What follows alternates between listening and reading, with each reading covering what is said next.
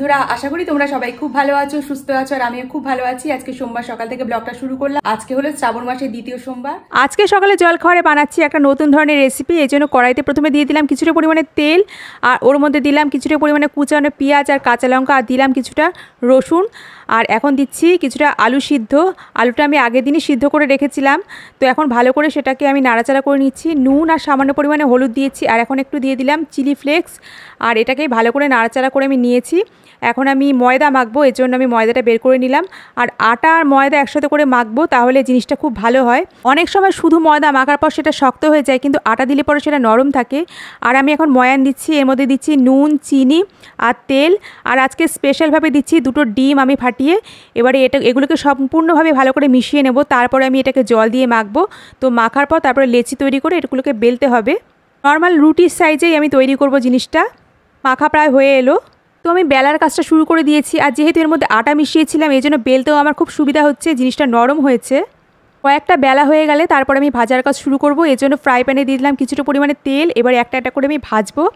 এইবারে বাকি কাজগুলো তোমরা দেখতে থাকো আমি কীভাবে কি করছি। এরকমভাবে পরোটা বানায় সেরকম করেই করতে হবে। কিন্তু একটু অন্যরকম পদ্ধতিতে তো আমি আলু মাখাটা পাশে রেখে দিয়েছি। এখন দেখো কিছুটা ভাজার পর আমি আলু মাখাটাকে একটা পরোটার উপরে দিয়ে আমি কিছুটা পরিমাণে চিজ আমি গ্রেট করে দিলাম। এরপর এটাকে আমি তাওয়ার মধ্যে আবার বসিয়ে দিলাম। এরপরে আমি এর উপর দিয়ে আরও একটা রুটি দিয়ে দেবো।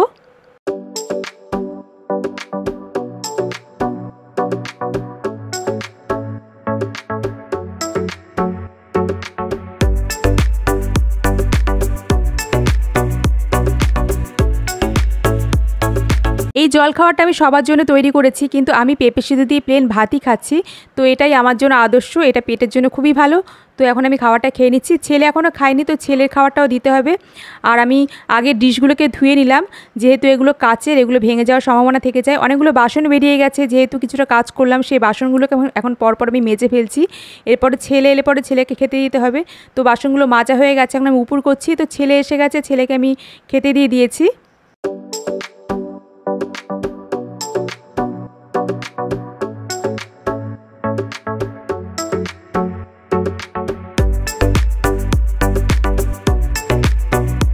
এবছরে প্রথম আমাদের বাড়িতে ইলিশ মাছ আনলো, আর ইলিশ মাছের যা দাম তা আমাদের মধ্যবিত্তের ধরাছোঁয়ার বাইরে।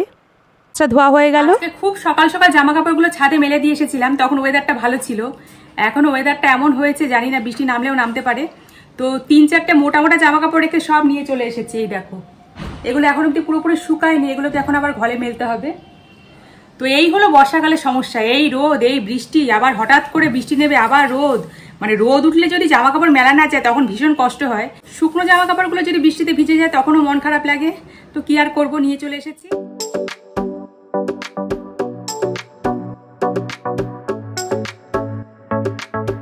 ড্রেসিং টেবিলের উপরটা পরিষ্কার করলাম মানে গোছালাম, এই জায়গাটা পরিষ্কার করলাম, গোছালাম, তারপরে এই দিকটা করলাম।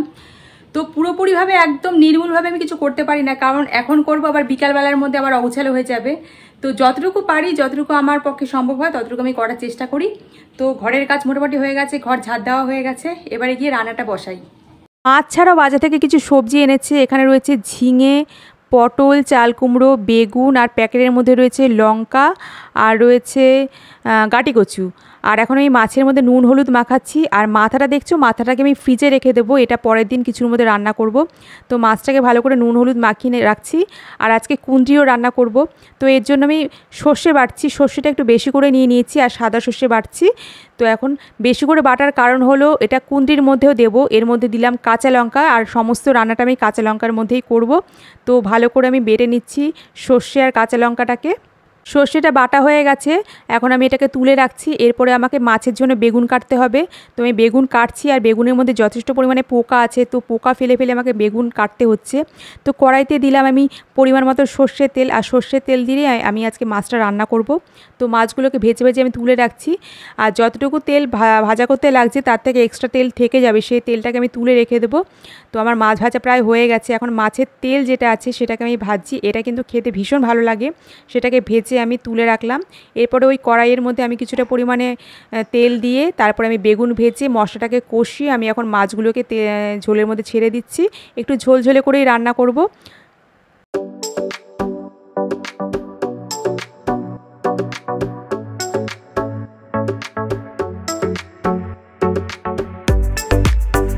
মাছ রান্না করা হয়ে গেছে, এখন আমি মাছটাকে ঢেলে রাখছি। আর একটু ঝোলঝোলে করেই রান্না করেছি। এটা ঢালার পর আমাকে কুন্দিটা বসাতে হবে। আর কুন্দিটাকেও আজকে করব সর্ষে বাটা, লঙ্কা বাটা দিয়ে। মাছ রান্না করা হয়ে গেছে। এখন গতকালের যে ঝিঙে পোস্ত ছিল সেটাকে এখন গরম করছি। তারপরে এটা গরম করা হয়ে গেলে ওই কুন্দ্রির তরকারিটা করব। কুন্দিটা করব, সর্ষে বাটা দিয়ে।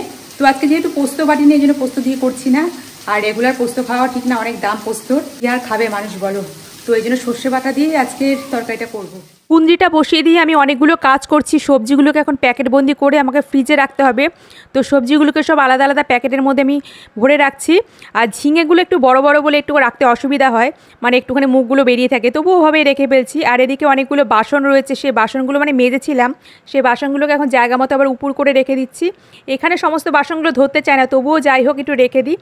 আর শিলনোড়াটা বের করেছিলাম। শিলনোড়াটা এখন আবার জায়গা মতো রেখে দিলাম। তারপরে আমাকে চাটু বিলনেটাও রাখতে হলো। আর চিনি ঢালার সময় একটু চিনি পড়ে গেছিল, এই চিনিটাকে আবার পরিষ্কার করে রাখলাম।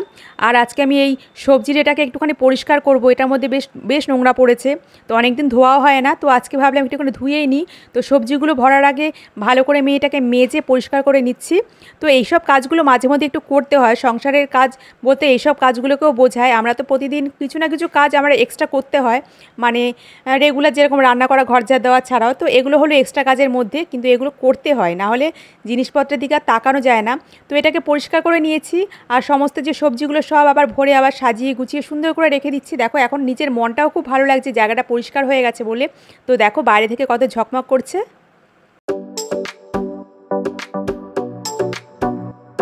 আজকে দুপুরের ভোগটা আমি নিবেদন করছি জল ভরা তালসাজ দিয়ে। সকালবেলা বাবা এসেছিল বাবা এই মিষ্টিটা নিয়ে এসেছিল আর সাথে এনেছিল নারকেল। তো আমি সবাইকে দেখো সুন্দর করে সাজিয়ে ভোগটা নিবেদন করছি। আমি প্রতিদিন পুজো করি এবং আমি আমার নিজের মতন করে পুজো করি। অনেক পুজোর অনেক নিয়ম নিষ্ঠা আছে, অত হয়তো আমি মানতে পারি না কারণ আমি একা মানুষ, একা হাতে আমাকে পুরো সংসারটা সামলাতে হয়, আমাকে সমস্ত দিক দিক দেখতে হয়। কাজে ঠাকুর ঘরে অনেকটা সময় দিয়ে যে আচার নিষ্ঠা, মেনে পুজো করা, সেগুলো আমি করতে পারি না। কিন্তু যতটা সম্ভব, যতটা ভালোভাবে করা সম্ভব, আমি ততটা করার চেষ্টা করি এবং সবাইকে সাজিয়ে গুছিয়ে রাখার চেষ্টা করি। সুন্দর করে গোপালকে আমি সেবা করার চেষ্টা করি। তো দেখো, আমি আজকে এইভাবেই পুজো করলাম। আশা করি তোমাদের দেখতে ভালো লাগল। তো এই দেখো, মিষ্টি সোনা কত খুশি। কিন্তু বেগুন দিয়ে ইলিশ মাছ রান্না করেছি, আর এই মাছটা হলো গতকালের পাবদা মাছ, যেটা রাত্রিবেলা কেউ খায়নি, রয়ে গেছে। আর এখানে রয়েছে কুন্দ্রি পোস্ত, আর এখানে রয়েছে মাছের তেলের তেল ভাজা, আর এখানে গতকালের ঝিঙে পোস্তও রয়ে গেছে। তো শাশুড়ি মাকে খেতে দিয়েছি হাজব্যান্ডকেও খেতে দিয়েছি মানে আমরা চারজনেই খেতে বসেছি, আমাদের সবার ভাত এখানে বেড়ে রেডি করে রেখেছি। তো এখন আমরা দুপুরের খাওয়া দাওয়াটা করে নিই।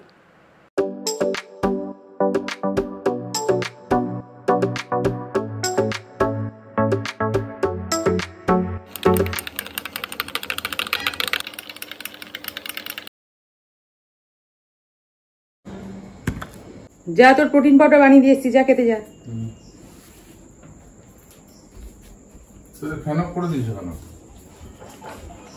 চা খাবে? চা খাবে? না। হ্যাঁ, তুমি তো বাইরে খাবে তাই তুমি খাবে। আলমারির ভিতরে আমার হাজব্যান্ডের জামা কাপড়গুলো সুন্দরভাবে গোছানো রয়েছে, যদিও অনেকগুলো জামা কাপড় কাচার জন্য বের করা হয়েছে। আর আমার জামা কাপড় কাপড়গুলো যেখানে থাকে সেই জায়গাটা একটুখানি অগোছালো হয়ে রয়েছে। এখানে আমার শাড়িও আছে, ব্লাউজও আছে, চুড়িদারও আছে। আর এই জায়গাটা, এই ড্রয়ারের ভিতরটাও একটুখানি অগোছালো হয়ে আছে। কারণ এখানে আমার কসমেটিক্সের কিছু জিনিস থাকে, টিপ থাকে, বিশেষ করে গার্ডার থাকে, যেগুলো আমাকে রেগুলার বের করতে হয়। আর ছেলেরও কিছু জিনিসপত্র রাখে, যেগুলো ও বাড়ি বের করে। এই জন্য এই জায়গাটা অগোছালো হয়ে রয়েছে। তো সন্ধ্যার পরে আজকে এই জায়গাগুলো পরিষ্কার করতে হবে। তো প্রথমে আমি আলমারির ভিতরটা খালি করে নিয়েছি, আর যেগুলো গোছানো আছে আছে। আর কিছু জিনিসপত্র আমাকে আলমারিতে রাখতে হবে, তো এই জন্য। ছেলে এখন যাচ্ছে ঘুগনি আনতে। আর এই কৌটোটা দিয়ে দিচ্ছি। বলে দিলাম যে কুড়ি টাকা ঘুগনি নিয়ে আয়।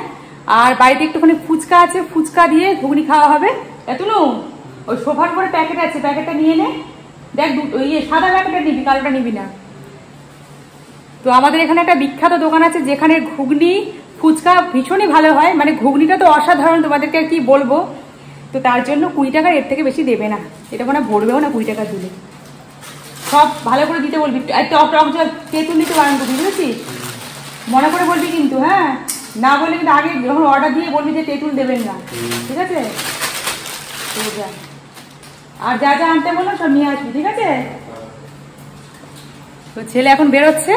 আর আমি জামা কাপড় গোছাচ্ছি। তো আমি গোছ গাছের কাজটা শুরু করে দিলাম। তো এই জামা কাপড়গুলো এগুলো আমি কোথাও যেতে আসতে পরি তো যেহেতু কোথাও যেতে আসতে পরি অনেক সময় এই জামা কাপড়গুলো অগুছালো থাকার জন্য খুঁজে পাই না। তো এই প্যান্টটাও না আমি খুঁজে পাচ্ছিলাম না। এটা প্লাজো প্যান্ট। তো এটাকেও পেয়েছি, এটাকে একটু গুছিয়ে রাখলাম। তারপরে এই কুর্তিটাকেও আমি একদিন পরেছিলাম। তারপরে কোনো রকমের গুজে আলমারির ভিতরে রেখে দিয়েছিলাম। এটাকে ভাজ করা ছিল না। এবারে এটাকে ভাজ করে রাখছি। তো অনেকগুলো জামা কাপড় এরকমভাবে রয়েছে, যেগুলো আমাকে এখন একটুখানি ভাজ করতে হচ্ছে, গোছাতে হচ্ছে। এই যে ওনাটা দেখছ, কি সুন্দর না ওনাটা দেখতে?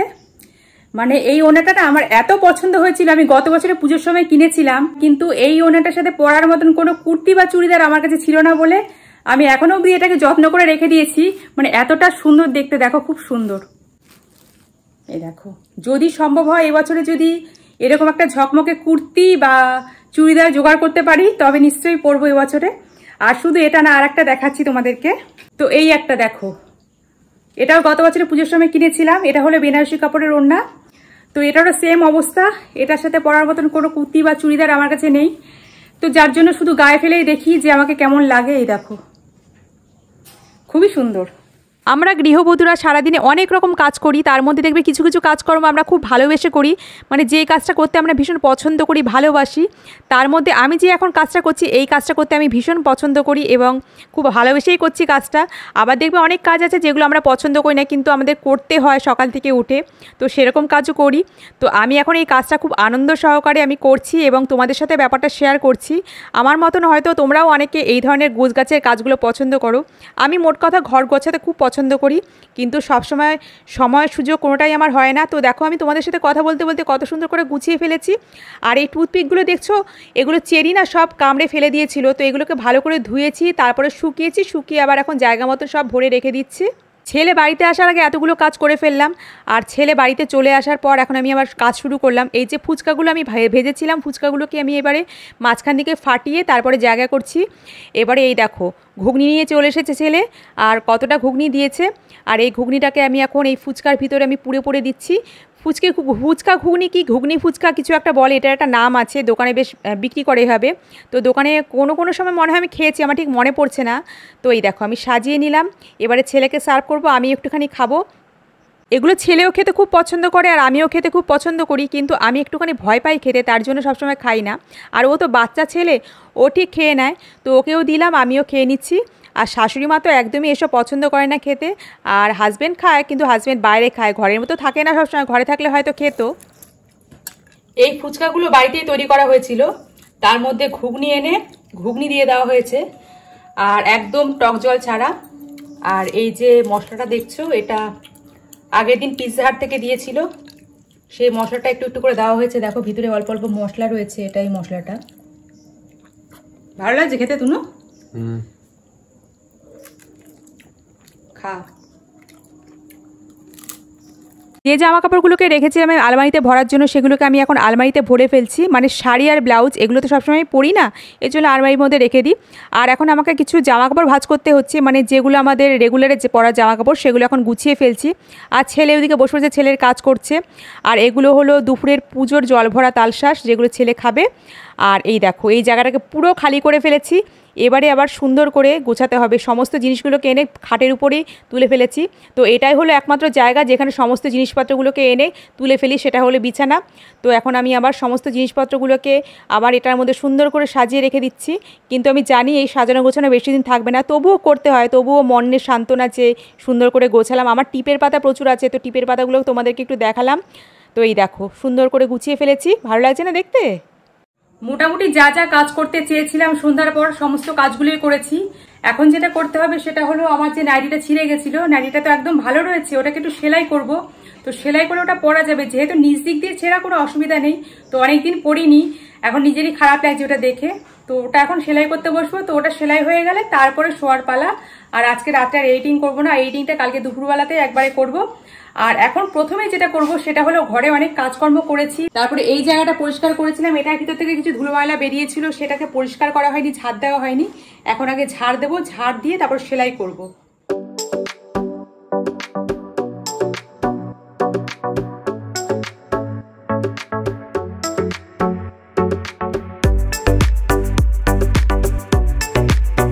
মোটামুটি ঝাঁট দেওয়া হয়ে গেছে, এবারে আমাকে সেলাইয়ে বসতে হবে। তো সেলাই করতে শুরু করেছি, আর মেশিনে সেলাই করলেও হতো, তবে আমি হাতে করছি। তো যেহেতু একটুখানি তেরা ব্যাকাভাবে ছিঁড়েছে, এটা হাতে সেলাই করলেই ভালো হয়, এজন্য এটাকে হাতেই করছি। তো আমার সেলাইটা করা হয়ে গেছে, খুব খারাপ করে সেলাই করেছে এই দেখো। তো তেরা ব্যাকা যেরকমভাবে ছিঁড়েছে, সেরকমভাবেই আমি সেলাইটা করে নিয়েছি। তো আপাতত কিছুদিন এটা চলে যাবে নাইটিটা, যদিও খুব বেশি পুরনো হয়নি। তো এখন আমাদের রাতের খাওয়ার পালা। ভাত বেড়ে ফেলেছি আর আমি ইলিশ মাছ রাত্রিবেলা খাই না। কুন্দির তরকারি নিয়েছি আর গতকালের পাবদা মাছটা নিয়েছি আর ইলিশ মাছের একটুখানি ঝোল আর বেগুন নিয়েছি যেটা খেতে ভীষণই ভালো লাগে। আর শাশুড়ি মা দিকে আলু সুদ্ধি দিয়ে ভাত খাচ্ছে আর এখানে মিমিদের ভাত মাখছি আমি। এখন মিমির বাচ্চারা যাবে ছাদে, পুরো দুজন বসে আছে, ওয়েট করে দেখবে, দেখো।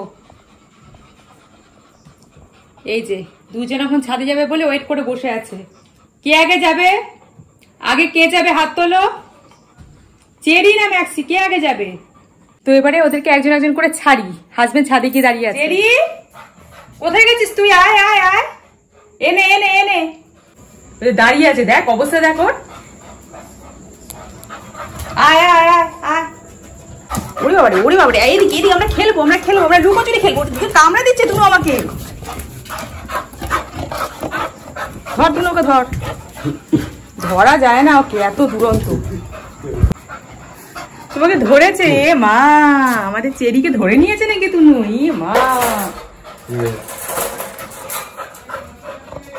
ও আচ্ছা তুই কি করেছিস তোরা? এই কাপড়গুলোকে হ্যাঁ? কি করেছিস? কি করেছিস? সব জেলখানায় বলি হয়।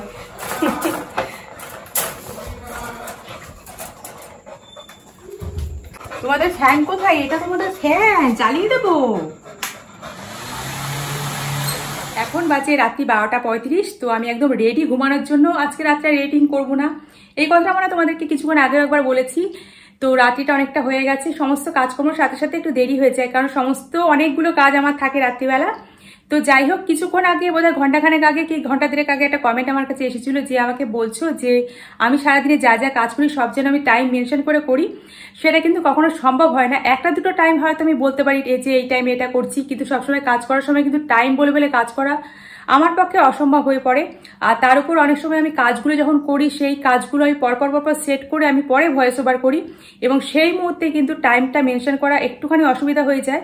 তো আমি চেষ্টা করব যে যতটুকু আমার পক্ষে সম্ভব আমি করার, কিন্তু কথা দিতে পারছি না যে সমস্ত কাজগুলো আমি টাইম মেনশন করে করব। তো যাই হোক, আজকের ভিডিও এটুকুই। তো তোমাদের সঙ্গে যতটুকু পারলাম, সারাদিন তোমাদের সাথে শেয়ার করার চেষ্টা করলাম। কেমন লাগল ভিডিও তোমরা অবশ্যই কমেন্ট বক্সে কমেন্ট করে জানিও। যদি ভালো লাগে লাইক করো বন্ধুরা।